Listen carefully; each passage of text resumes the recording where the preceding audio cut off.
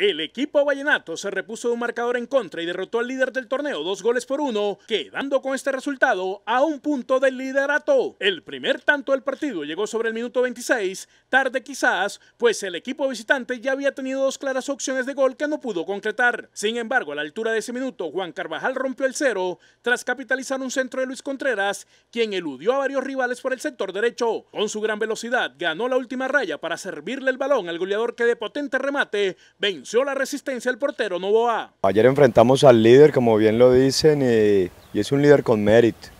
Es de esos líderes que a mí me alegra porque eh, promueven un proceso metodológico ya de dos años largos, con una idea de juego muy clara, con un juego de posición que es el que yo también persigo, que es el que estamos tratando de implementar acá en Valledupar.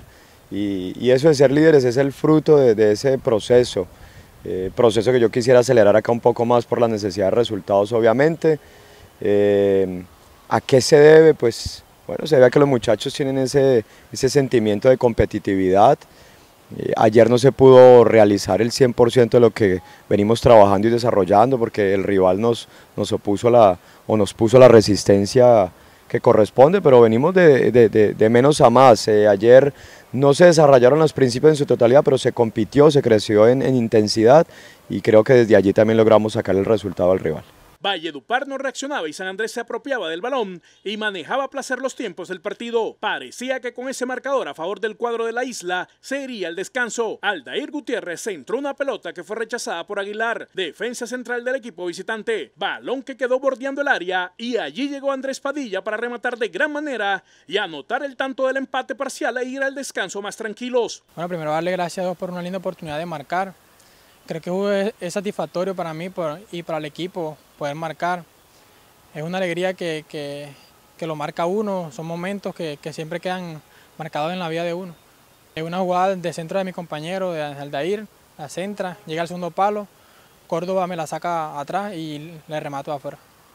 El inicio de la segunda parte fue igual al de la etapa inicial. Real San Andrés tomaba el control del partido con Carvajal, Berrío y Contreras, inquietando el área del cuadro vallenato. Pero en una jugada de saque de banda sobre el minuto 70 por el sector derecho, Aldair Gutiérrez en su acostumbrado saque largo metió la pelota al área chica y allí la tocó Botero, quien había acabado de entrar. El balón toca a Henry Peña metiéndola en su propio arco. Gol en contra dio finalmente el árbitro central. Con esta victoria, Valledupar suma nueve puntos y está está uno del Real San Andrés, que pese a la derrota, sigue liderando la tabla con 10 unidades. Contra Quindío seguramente vamos a rotar dos, tres jugadores, máximo cuatro, no creo que vayan a ser más.